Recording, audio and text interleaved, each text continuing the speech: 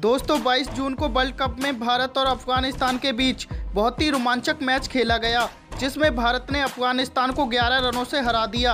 आपको बता दें, जब मैच शुरू हुआ था तो किसी ने नहीं सोचा था कि यह मैच इतना रोमांचक हो सकता है। इसकी सबसे बड़ी वजह है, भारत ने अफ़गानिस्तान को कुछ ज़्यादा ही हल्के में ले लिया और उसी हल्के में लेने का नतीजा था कि भारत एक समय इस मैच को हारी गया था। मगर धोनी ने आखिरी समय में बड़ा पासा फेंका और हारे हुए मैच को अपने दिमाग से जिता दी मोहम्मद शमी की शानदार हैट्रिक की वजह से जीत के बाद जब उनसे पूछा गया तो मोहम्मद शमी ने कहा कि अफ़गानिस्तान के खिलाफ भारत के रोमांचक विश्व कप मुकाबले के दौरान महेंद्र सिंह धोनी ने सलाह दी थी कि वह हैट्रिक गेंद में यॉर्कर डालें। और उन्होंने भी ऐसा करने के बारे में ही सोचा था।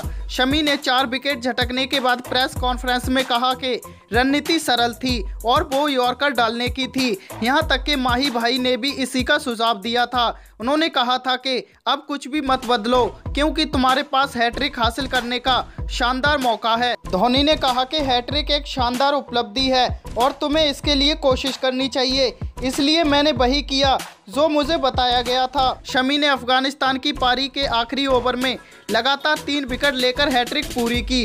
विश्व कप 2019 के अपने पहले ही मैच में शमी ने शानदार प्रदर्शन किया है।